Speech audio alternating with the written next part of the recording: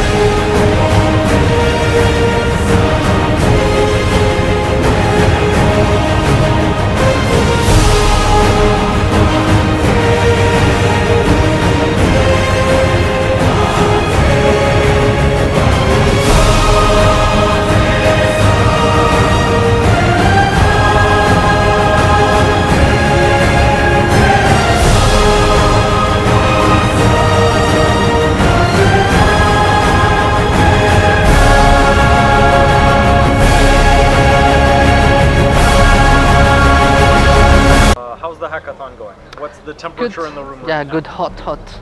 This is really hot, and uh, I like it. The team likes it. All the participants are really great. We are doing great job.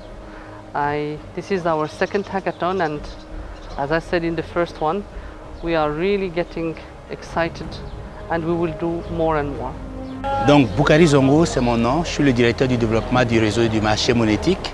Le hackathon également que nous avons découvert cette année et j'ai très volontairement inscrit des collaborateurs qui sont venus également pour partager notre connaissance, notre savoir-faire et ensemble que nous puissions en fait trouver des solutions en fait aux défis du développement du paiement électronique euh, en Afrique et au-delà.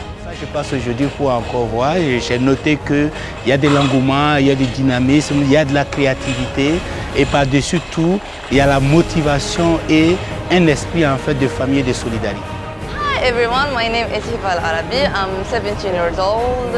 I study in Moulay Yusuf High School in Rabat. This is my first uh, open innovation, my second hackathon after the Emmy, and I am really excited to be here. Um, really excited to, to work with HPS and uh, to work with ScreenDy. It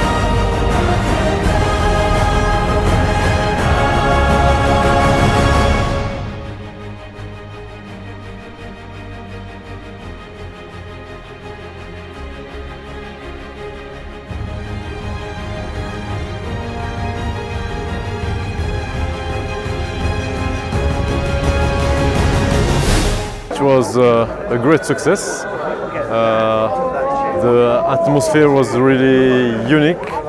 The ideas were just uh, amazing, and we are really uh, very pleased with all what we have seen. And I was a member of the jury, and it was really, really very difficult to to choose the the, the, the, best uh, solution ideas application because really all of them maybe nearly all the 15 was uh, great, great, great ideas.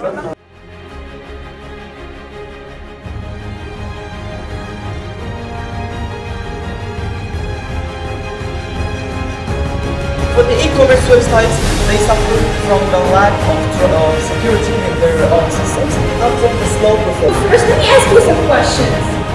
Do you feel like